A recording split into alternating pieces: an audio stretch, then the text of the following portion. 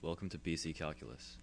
BC Calculus is a continuation of Calc AB, which is a single va- variable calculus course in most universities. So, in the same respect, BC Calculus is a second semester course in most universities. So, these videos, whether you're a college student or a high school student taking BC Calc, should help you.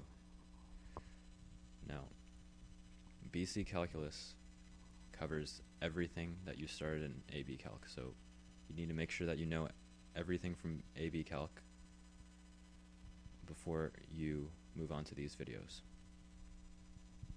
So, in addition to everything from AB Calculus, BC Calculus also includes convergence and divergence tests for series, Taylor polynomials as well as Maclaurin polynomials, parametric and polar form, L'Hopital's rule, integration by parts, improper, improper integrals and partial fractions, as well as Euler's method and logistic diffeques.